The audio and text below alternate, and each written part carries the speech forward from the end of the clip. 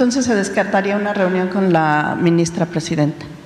Yo no Con usted. pues. tengo ya este nada que ver en, en esto. Ya entregué mi iniciativa, ya eh, de acuerdo a mis facultades, y estoy convencido que hace falta la reforma al Poder Judicial. Y me molesta mucho de que durante bastante tiempo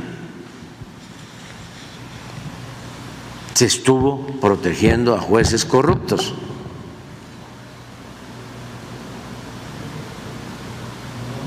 Y se dio libertad a gente que eh, debía estar en la cárcel.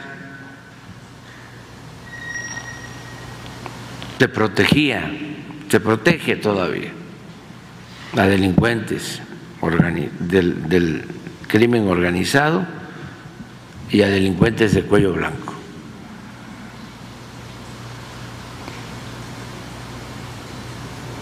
A ver, le- este, con todo respeto, ¿no? Le diría a la presidenta, ¿por qué no resuelven lo de el pago de impuestos de los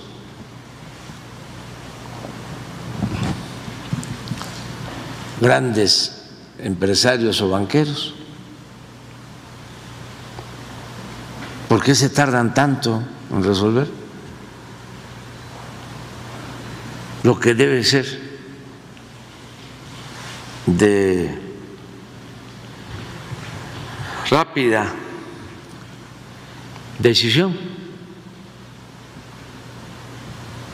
porque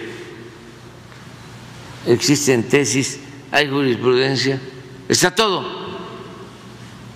¿Y por qué tardan tanto? ¿Por qué las tácticas dilatorias?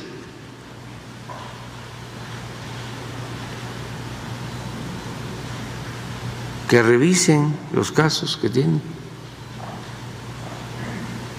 O lo otro, ¿por qué no dan un informe de cuántos procesados hay sin sentencia desde hace años?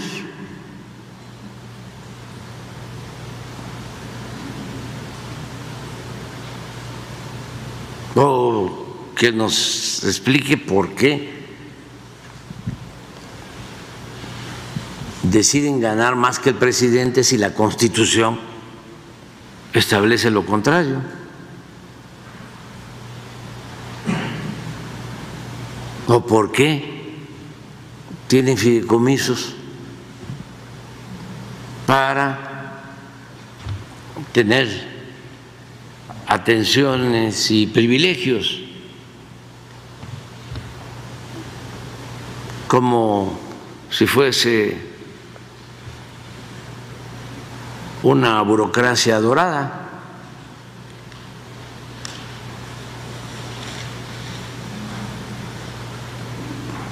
Y muchas otras cosas.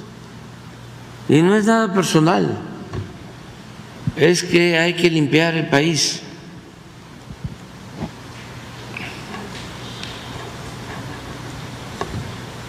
Si no, no avanzamos. Y hay que pensar en las nuevas generaciones. Así de contundente ha sido el presidente. No existe en México una justicia